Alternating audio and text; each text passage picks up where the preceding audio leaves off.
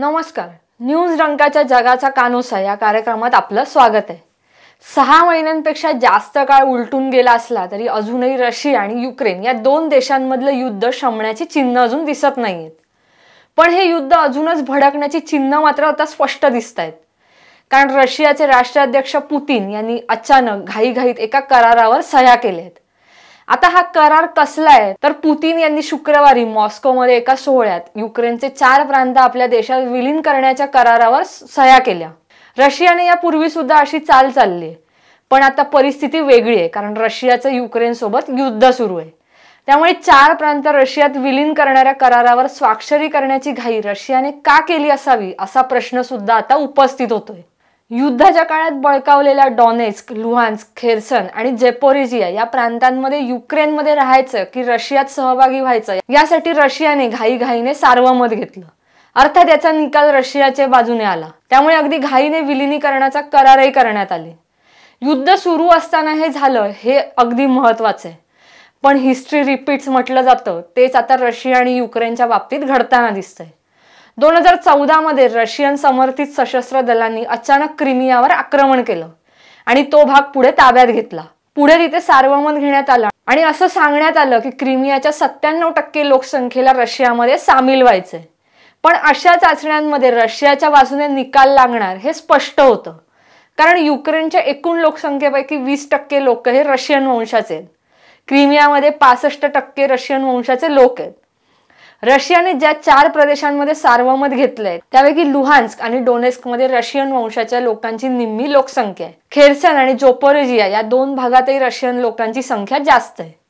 आता हे युद्ध कधी संपतंय असं साऱ्या जगाला वाटत असलं तरी आज युक्रेन सारख्या छोट्या देशाने बलाढ्य रशियाला चांगलंच तंगवलंय. सात महिन्यांच्या युद्धानंतर सुद्धा रशियाचं यश हे युक्रेनच्या पूर्वेपर्यंत आणि दक्षिणेकडच्या काही भागांपुरतं मर्यादित राहिलंय. अलीकडच्या काही दिवसात तर युक्रेनने जोरदार प्रत्युत्तर सुद्धा रशियाला दिलंय. ईशान्येकडच्या खारकीव प्रदेशात रशियाकडून सहा हजार चौरस किलोमीटरहून अधिकचा भूभाग युक्रेनने परत ताब्यात घेतलाय. युद्धभूमीवर रशियाच्या सैन्याची होत असलेली पिछेहाट हे करारावर घाईत स्वाक्षऱ्या करण्यामागचं मुख्य कारण आहे असं तज्ज्ञांचं मत आहे. युक्रेनचं सैन्य आणखी पुढे आलं तर जिंकलेला सगळा भाग आपल्या हातातून जाईल ही भीती पुतीन यांना असावी. त्यामुळे सार्वमत घेऊन तातडीने विलिनीकरणाचे करारही करण्यात आले. या करारानंतर युक्रेनसह पाश्चिमात्य देशांनी पुतीन यांच्यावर जबरदस्त टीका केली. युक्रेनचं भवितव्य हे युद्धभूमीतच निश्चित होईल. रशियाने बळकावलेला भाग परत घेण्याची आमची मोहीम सुरूच राहील असं मत युक्रेनचे राष्ट्राध्यक्ष कार्यालयाचे प्रमुख अँड्री ये मार्क यांनी व्यक्त केलंय. अमेरिका आणि युरोपीय महासंघाने याबाबत संतप्त प्रतिक्रिया दिली. तर आंतरराष्ट्रीय कायदा धाब्यावर बसवून केलेले अनधिकृत विलिनीकरण मान्य करणार नाही अशी भूमिका पाश्चिमात्य देशांनी घेतली. युरोपीय महासंघाच्या सदस्यांनी सुद्धा संयुक्त पत्राद्वारे रशियाने केलेले विलिनीकरण नाकारत असल्याचं सांगत रशियाच्या या निर्णयाचा निषेध केलाय. आता एकीकडे रणांगणावर आक्रमकता कायम ठेवणारा युक्रेन मुत्सत्तेगिरीमध्येही अधिक आक्रमकता दाखवण्याची शक्यता आहे. युक्रेनचे अध्यक्ष झेलेन्स्की यांनी याबाबत संकेत दिलेत. युद्ध सुरू झाल्यानंतर नाटोमध्ये सहभागी होण्यासाठी दबाव टाकणार नाही अशी भूमिका झेलेन्स्की यांनी घेतली होती. मात्र आता चार प्रांतांच्या विलिनीकरणानंतर त्यांनी या भूमिकेत बदल केलाय. नाटोने युक्रेनच्या सहभागाची प्रक्रिया अधिक लवकरात लवकर करावी अशी विनंती त्यांनी केली. आता झेलेन्स्की यांनी अशी विनंती केली असली तरी त्याला लगेच यश मिळेल अशी शक्यता नाहीये.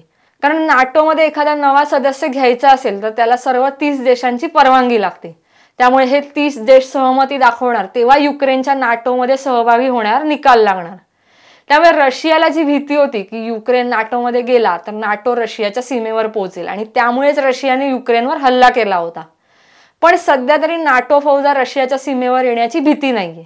पण असं असताना सुद्धा रशियाने आता जे कराराचं हे पाऊल उचललंय ते म्हणजे रशिया आणि युक्रेन मधले वाद आता आणखी विकोपाला जाणार हे नक्की आहे.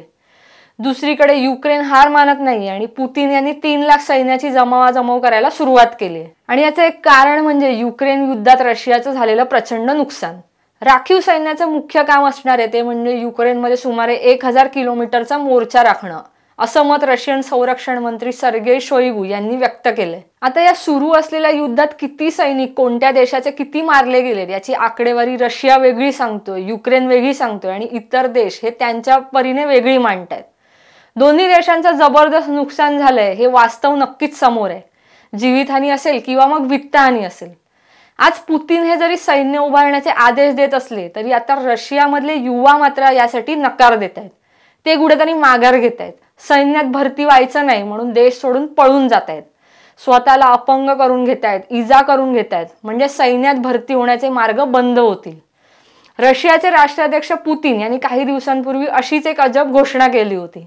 रशियाच्या घटत्या लोकसंख्येमुळे चिंतेत असलेल्या त्यांनी या चिंतेवर उपाय म्हणून स्त्रियांना सांगितलेलं दहा मुलांना जन्म द्या आणि एक अब्ज रुबल म्हणजेच तेरा लाख रुपये मिळवा. यावरून त्यांच्यावर टीका पण झाली. आता पुतीन यांनी करारावर सया केल्या पण आता पुढे काय होणार याकडे लक्ष असणारच आहे. पण तांत्रिकदृष्ट्या विचार केला तर हे करार रशियाच्या संसदेकडे पाठवले जाणार. ही संसद अर्थातच पुतीन यांच्या म्हणण्यानुसार कामकाज करणार आणि त्यामुळे तिथल्या दोन्ही सभागृहात या विलनीकरणाला मंजुरी मिळणार. पुढे रशियाचे कायदे या प्रांतांमध्ये लागू होणार. पण युक्रेन किंवा अमेरिका आणि पाश्चिमात्य देश जरी या कराराच्या विरोधात उभे असले तरी युद्धभूमीवर युक्रेन किती काळ तग धरणार यावर आता अनेक प्रश्नांची उत्तरं अवलंबून असणार आहेत. तर तुम्हालाही माहिती आवडली असेल तर हा व्हिडिओ नक्की लाईक करा शेअर करा. कमेंटमध्ये तुमच्या प्रतिक्रिया आम्हाला नक्की कळवा. आणि आमचं न्यूज रंकाचं यूट्यूब चॅनल सबस्क्राईब करा. धन्यवाद.